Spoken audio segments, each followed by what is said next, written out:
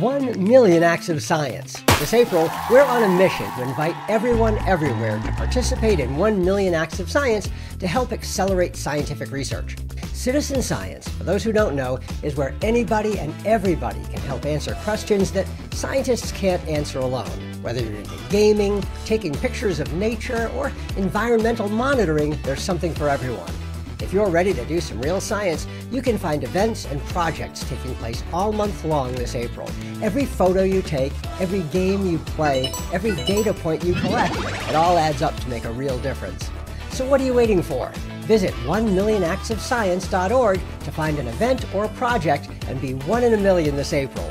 Then make it count by reporting and sharing your act.